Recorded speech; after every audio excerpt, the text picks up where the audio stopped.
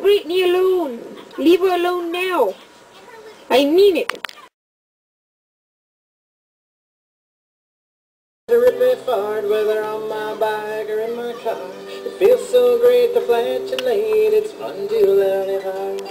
I was by a campfire, I passed gas, it felt so good coming out my ass.